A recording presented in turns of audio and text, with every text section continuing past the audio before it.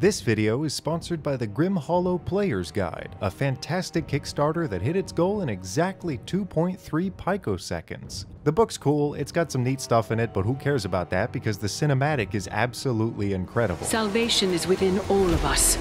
All you have to do is fight. They brought on Jennifer Hale, who voiced Samus from Overwatch, to do the narration. Also, I made three stretch goal classes for it, and all of them got unlocked already. I beg you, please, go to the Kickstarter.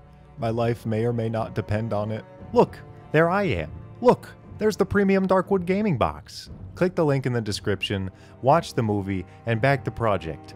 If that's what you want to do. Okay, it's spooky time. And you know what's scarier than ghosts, ghouls, and big rolling fog? The hoarding of unethically earned wealth. So I made a mansion. Now let's put some spooky stuff in it. Starting in the vestibule, where our lovely guests will end up first. When entering, the bell on the door will proc the magic mouth spell. It can only have 25 words, but it can go on for 10 minutes and use any language. Music is a language, and the Fortnite dance theme communicates to the human mind that everything around you is bad. So it blares a distorted version for a full 10 minutes. The door can be opened again, but touching the door handle on the inside triggers the Finger of Death spell, and starts the song all over again. Here there are four coat hangers that will immediately animate and try to take the guest's armor, by force. Okay, that's it, let's move on. The door into the main hall. The door handle is an Xbox One controller, and you have to subscribe to the Haunted House's mail list by putting your email in using the controller. It's a classic horror trope. Enter the main hall. Here, nothing but a giant piano rests being played by this sick skeleton from Goat Story, accompanied by rolling fog and twin stairs that go up to the next floor. And three doors. Approaching the skeleton causes it to immediately get eaten by the piano, and it turns out that the piano is from Mario 64, so don't approach it. Behind door number one lies a library that looks like the library from SpongeBob in the episode where he felt bad about being ugly. In the library, 50% of the books are Mein Kampf, and the rest are owner's manuals for various refrigerators. There will always be six ghosts and a handful of zombies perusing the library. The ghosts immediately try to possess anyone who enters and force them to read the collection forever. And the zombies, at the same time, try to hard sell expensive refrigerators to you during hour long presentations. If you sit down and read an entire Mein Kampf cover to cover, your alignment becomes lawful evil. And maybe your head explodes, I haven't decided yet. Going back, behind this next door is a dining room. Inside is a sweet smelling fog that draws you in, magically begging you to sit down and enjoy a nice meal. There's only one problem here, naturally.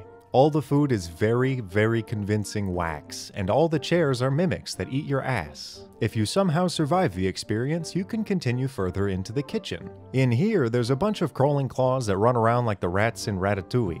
They follow the orders of the head chef, who is aghast. A stinky, stinky ghast. The whole place smells like cheese because of him. It's horrible. There are two doors here, one says storage and one says employees only. In the storage, there's a bunch of normal food, except all of it is exactly one day past the expiration date, and you're not really sure if it's good still. The only stuff that isn't expired here are the spices on the spice rack. And now it's time for RuneSmith's Spice Review Corner. Today's spice is turmeric, a close relative of the well-known ginger root that shares its appearance and family.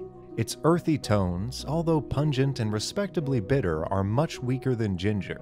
As a standalone spice, it's pretty weak. However, in curry powder, it helps crush the competition.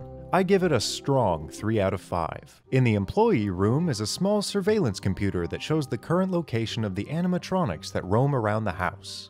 The third door, back in the main hall, leads to a hallway with a large mirror on the left side. Entering the hallway and turning the corner traps you in a permanent loop, where no matter what direction you're facing, you hear a thumping heartbeat behind you. Each time you round a corner in the hall, the mirror shows a different funny little character standing behind you. And lastly, up the stairs. They both lead to two different doors. The first is a lavish bedroom, under the bed is a portal to the abyss, and in the closet there are exactly 372 living shadows. In the other room, two things can happen. If opened outward, you will find a demi-lich stuck trying to figure out his tax returns. If you try to help him, you instantly become a lich and realize that these are your taxes and you have to do them forever. If opened inward, you find a staircase. The staircase from Mario 64. This whole mansion is actually just Mario 64, and I, I've been lying to you. That that's that's the end of my video. There's no bathroom. That's part of the experience. You have to pee your pants.